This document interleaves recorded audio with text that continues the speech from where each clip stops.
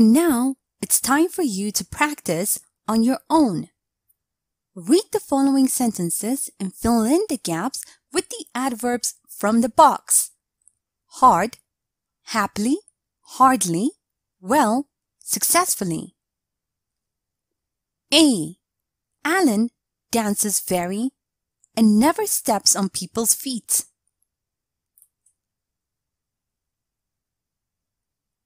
B. I can believe it.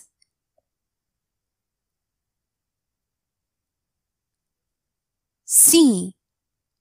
And they lived ever after.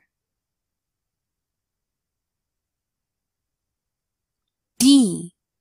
We completed the course.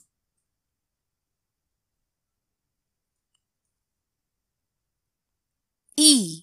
Susan worked very and was promoted in February.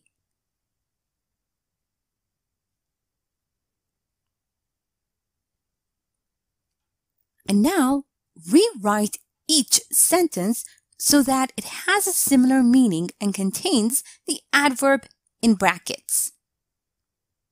A. Sam didn't sleep well. Badly.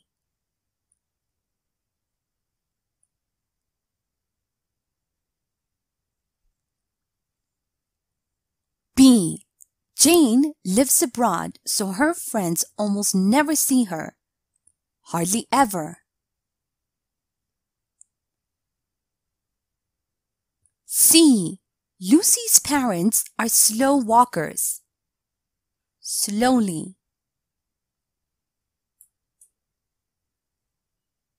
D. The couple lived together and were happy. Happily.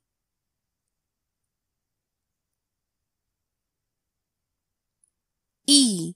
Philip is ill. Well.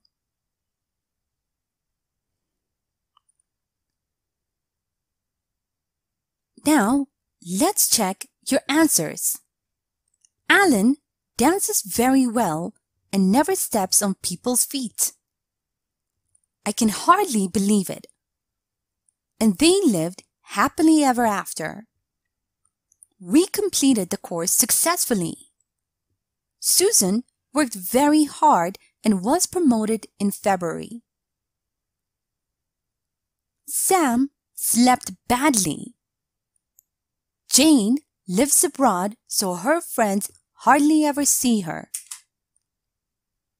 Lucy's parents walk slowly. The couple lived happily together. Philip isn't feeling well.